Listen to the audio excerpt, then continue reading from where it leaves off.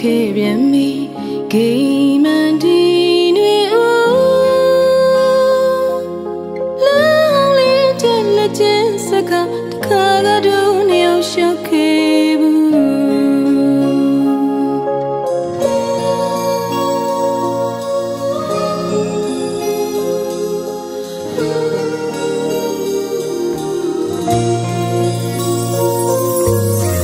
ချိန်စားတဲ့လွန်ဒီမျိုးဖြင်းမစင်နာ